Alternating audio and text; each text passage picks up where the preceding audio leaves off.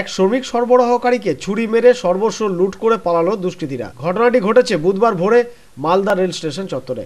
জানা গেছে, আক্রান্ত বত্রিশ বছরের মমতা শেখ রতুয়া থানার শামসি গোবিন্দপাড়া এলাকার বাসিন্দা।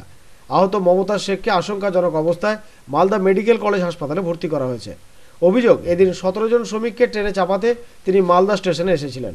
ভোরে বাড়ি যাওয়ার উদ্দেশ্যে স্টেশন থেকে বেরোনোর পর কয়েকজন দুষ্কৃতী পথ আটকে তার কাছ থেকে টাকা ও অন্যান্য সামগ্রী ছিনতাই করার চেষ্টা করে।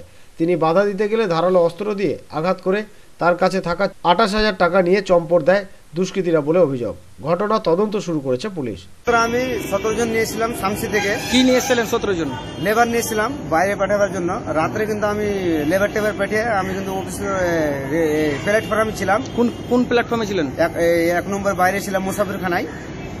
মালদা টাউন স্টেশনে? জি স্যার। তারপরে ওখান থেকে বাড়ানোর পরে আর যখন চারটা বাজে তখন কিন্তু আমি ব্যাগটাকে নিয়ে আমি এক নম্বর এই হসপিটাল যে আছে জিআরপি হসপিটাল ওই এক নম্বরের গেটে আসলাম। ওখানে তখন টাইম হচ্ছে আপনার পনেরো পাঁচটা দোকান টোকান খুলেনি আমাকে দুজন এসে বলছে আমাকে মানে এটা করে টাকা পয়সা আমি বলছি টাকা পয়সা নাই। যখনই আমি অস্বীকার করেছি তখন কিন্তু ওনারা আমার হাতে চাকু মেরেছে আর মাথাতে আমার বাঁশের বাড়িতে মানে মারধর করেছে। করে কত টাকা নিয়েছে? আঠাশ হাজার টাকা ছিল আঠাশ হাজার টাকা ওনারা দুজন নিয়ে চলে গেছে আমাকে। যে বাড়িতে গেছে আমি বাড়িটাও দেখেছি। যে বাড়িতে যে ওনারা ঢুকেছিল আমাকে মারধর করে আমি বাড়িটায় ওই স্পট দেখেছি আমি।